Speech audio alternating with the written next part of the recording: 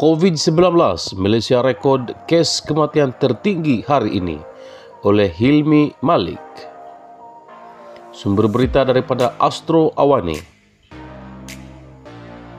Kuala Lumpur, Malaysia mencatatkan angka kematian tertinggi yaitu 10 kes baru hari ini menjadikan jumlah keseluruhan kes kematian akibat COVID-19 meningkat kepada 214 kes.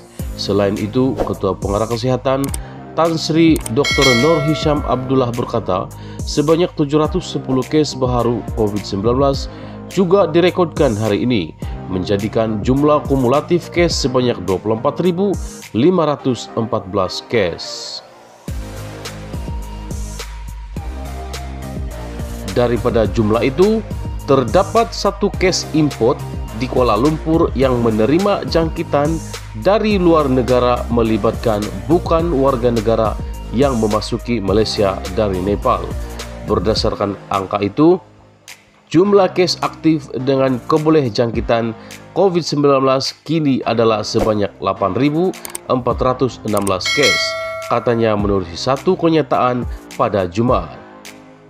Sementara itu, beliau berkata Sabah masih merekodkan kes baru harian tertinggi dengan pertambahan 528 kes diikuti Selangor 62 kes. Setakat hari ini katanya sebanyak 90 kes positif COVID-19 sedang menerima rawatan di unit rawatan rapi ICU dengan 28 kes memerlukan bantuan pernafasan.